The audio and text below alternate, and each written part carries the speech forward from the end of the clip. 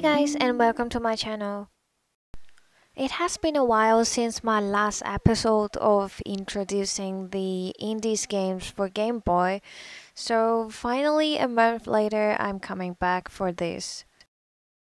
Today I'm going to explore Drake's Adventure, the English version, and it has an Italian version. To cut it short, I was expecting this game to be very interesting, but it was kind of interesting in a different way than I expected. So I'm not going to talk about it much. You can watch it yourself and you'll find it.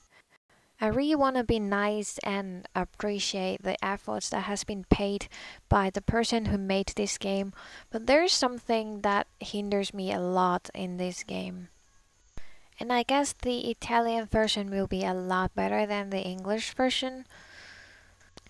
Anyway, I'll put down the link of this game in the description box if you're interested into exploring this little world.